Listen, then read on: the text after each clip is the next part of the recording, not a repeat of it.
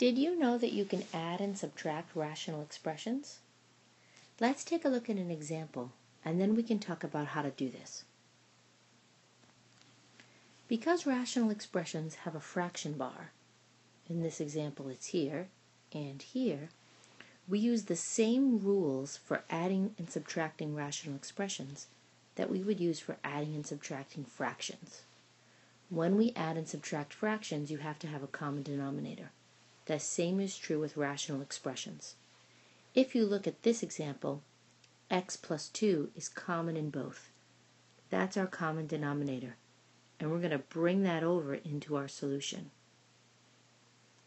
Now we can look at the like terms in the numerators. 6x squared and 4x squared can add together, together to give us 10x squared. And then we have positive 2 and a positive 6, which gives us a positive 8. So our final answer is 10x squared plus 8 over x plus 2. Let's look, look at another example with a common denominator before we look at how to handle one with an uncommon denominator. Here's another example. Now notice right away that x plus 4 is our common denominator. We can bring that right over into our solution. This is a subtraction problem, so we have to apply that. Let's take care of the like terms. 3x minus an x leaves us with 2x, and we have 4 minus 2 which leaves us with a positive 2. Our final answer is 2x plus 2 over x plus 4. Now let's look at a situation where we have an uncommon denominator. 3 over x minus 2 plus 4 over x plus 6. We don't have a common denominator here. However, we can create one.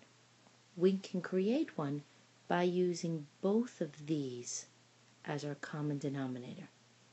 We're going to rename both of these rational expressions to have a denominator of x minus 2 times x plus 6 plus, I'm going to do that here too, x minus 2 times x plus 6.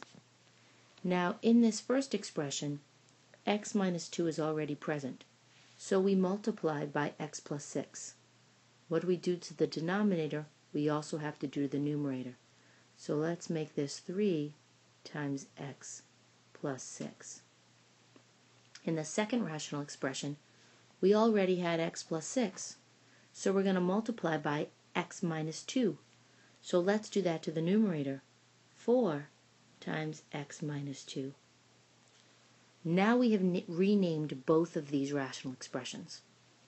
Now, our next step is to multiply out the numerators. That way we can combine like terms because we are adding. 3 times x gives us 3x plus 3 times 6, which is 18. And all of that is over x minus 2, x plus 6 addition here. 4 times x gives us 4x. 4 times a negative 2 gives us minus 8 over x minus 2, x plus 6. We can extend this line out a bit. Now we can combine like terms.